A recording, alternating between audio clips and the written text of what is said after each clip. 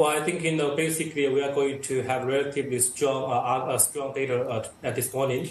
Uh, it's generally because of the low base last year. Uh, but in the meantime, have to uh, acknowledge that overall speaking, China's economic momentum has been somewhat lost the momentum since April. So I think you know, it looks like the post-COVID recovery has somewhat you know loose, lose speed, as you mentioned.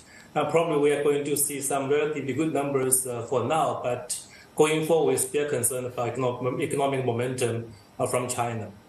Where are you seeing the bright spot?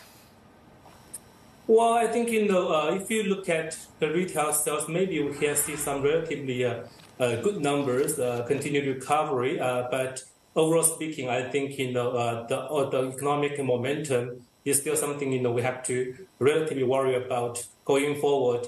Uh, maybe we are going to see some kind of uh, good numbers uh, from uh, fixed asset investment as well.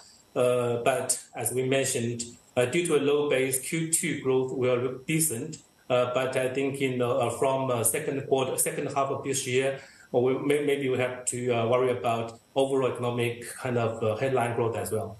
Absolutely, because you have to, you know, no one operates in a vacuum. You have to worry about the external environment as well, because uh, even if the services sector, you know, retail sales and hospitality, leisure, gaming, all that has been benefiting from the reopening and pent up demand, the manufacturing sector is still at the whim of potentially lower demand from, uh, from outside. Is that a concern for you?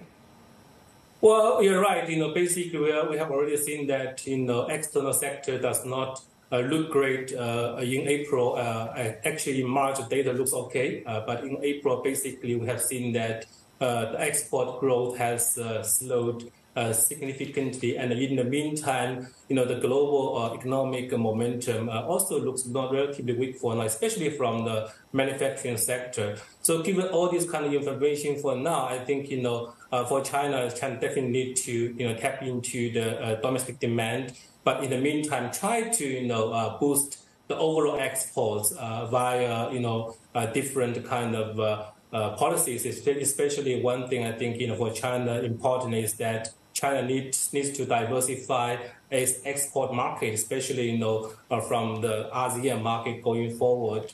Uh, so I think you know this is also important uh, given the uh, changing geopolitical dynamics facing China for, for now.